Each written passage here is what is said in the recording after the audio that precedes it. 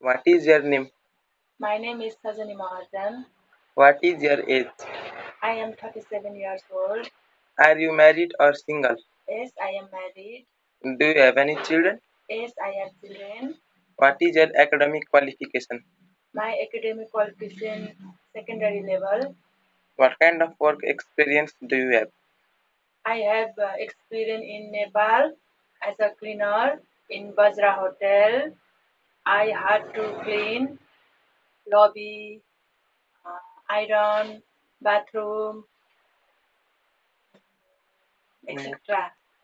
How long have you worked? I have uh, working for five years. Why do you want to work in Romania? I want to come Romania to work, make my future bright, and supporting my family financial.